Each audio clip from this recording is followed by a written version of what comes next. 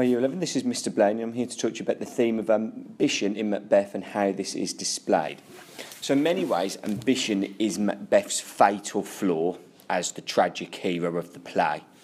It's important to remember that he begins as a man who is admired throughout the whole of Scottish society. He's described as brave and noble by both the king and the captain. However, it can be argued that his ambition is what eventually leads him down that bloody path, committing all those murders and eventually leading to his death. And it's that ambition to be king. Obviously, the second he hears the witches tell him that he's going to be king, it begins that downward spiral for him. And we're left asking the question was that ambition always there? Or did the witches put him in, put it into him? And that's kind of the point where you can evaluate in the play. Did he always want to be king or not? So some quotations that you can consider when writing about this. There's lots of different bits that you can write about when it comes to ambition. So I've just picked out um, a small number that we can talk about in a bit more detail. I think an important point to remember is that Macbeth knows what he's doing is wrong. He knows that being king is wrong and goes against what is expected from him in society. So one quotation is, Stars, hide your fires. Let not night see my black and deep desires. So that use of black shown, he knows that what he is doing is evil. But the fact that these desires are deep is again a hint that maybe it's been there longer than we thought, that he's always maybe dreamt of the idea of being king. He's a man who wants to get ahead. So that idea that he knows what he is doing, but ambition drives him to commit evil acts is really important. So It sort of means he is to blame for what he is doing. A second one comes from Lady Macbeth herself. Now, Lady Macbeth knows Macbeth very well. She's, of course, his wife. They seem to have a very good relationship, calling him my dearest partner of greatness. And the quotation I would look at is where she says, Thou wouldst be great, art not without ambition, but without the illness should attend. And that's quite important because even Lady Macbeth acknowledges that her husband does have ambitions. She knows that he wants to succeed in life. But her opinion is that he's too worried about doing evil things in order to get there. And maybe this is Shakespeare acknowledging that ambitious people, in order to get to the top, do have to do some pretty morally questionable things that maybe they shouldn't be doing. And it's nice to see that Macbeth does have that sort of good in him.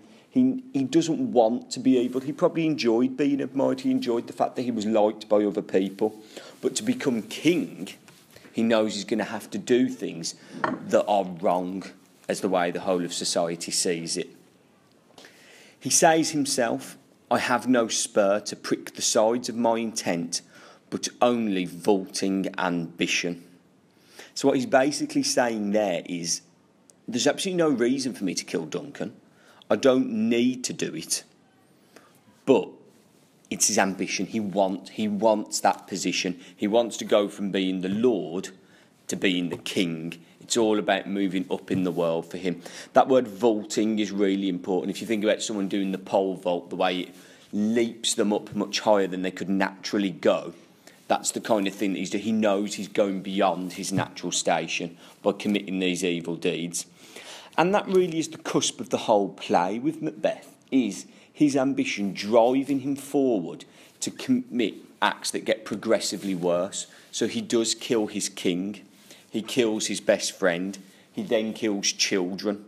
So as you can see, he's basically sacrificing his soul on the altar of his own ambition because he wants to be king so badly. And Shakespeare really explores what ambition can do to a person, the effect that it can have on him. And it's really interesting when we look at Macbeth at the end of the play, when it's all closing in on him, when the king's on his about, when Malcolm is about to invade, his wife is dead. The way he talks about life, he's really lost all that ambition. He's lost all that drive that he once had. And he says, the final quote that I've picked out, describing his own life almost, it is a tale told by an idiot, full of sound and fury, signifying nothing. And that idea of life signifying nothing for Macbeth now is so important because he just can't bring himself to care anymore He's committed all these evil deeds. He sees himself perhaps as the idiot for having succumbed to his ambitions for having given in to them. And now it all means nothing to him. And really, he's punished at the end of the play because he dies and he suffers um, quite a humiliating death, having his being beheaded, being insulted, and everyone hates him. He's seen now as a tyrant, as an evil man, and everyone is delighted to see him dead.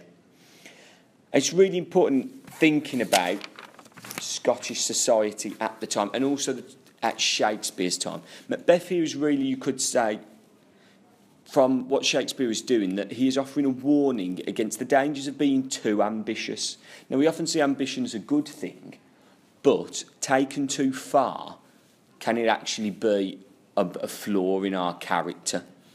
And this fits into very much the sort of society at the time. They really believed the king was made the king by God. So if you're trying to move into that position, you're being too ambitious. And that really comes down to the idea of uncontrolled ambition. That's the problem for Shakespeare.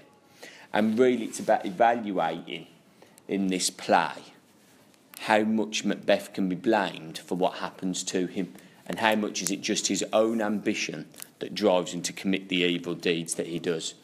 So I hope some of those things are helpful for you if you do get a question. Remember, any question that you get on Macbeth as a character, ambition can come into it because you can talk about that being his driving, motivating factor for everything he does.